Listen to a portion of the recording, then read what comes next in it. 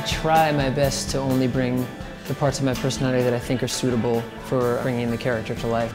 Everyone brings something so spontaneous and new to the stage every night, like a different flavor. My specialty in the show is acrobatics without wires. My specialty is my power of imagination. I encompass kind of the crawler aspect of Spider-Man.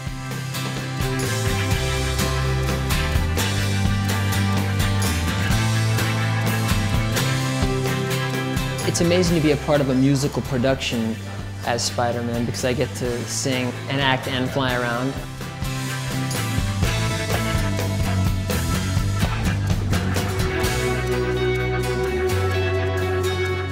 My favorite thing is that it's such an uplifting character. Actually, I think it's webbing the audience. Best part of playing Spider-Man is wearing the costume. Who doesn't dream about being a superhero when they're a little boy?